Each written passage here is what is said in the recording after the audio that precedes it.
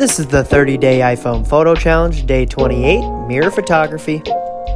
First, get a mirror. Then you're going to want to put your camera on 0.5 zoom.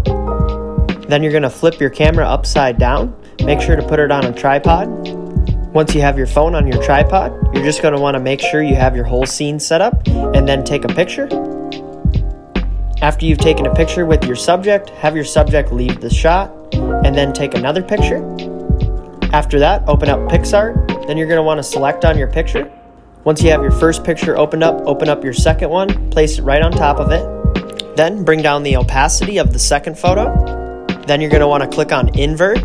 After that, click on Restore and then paint in the mirror. Once you have the whole thing painted in, you're just going to want to bring up the opacity on the second one and you should have something like this. Like and follow to keep up with the 30 day iPhone photo challenge.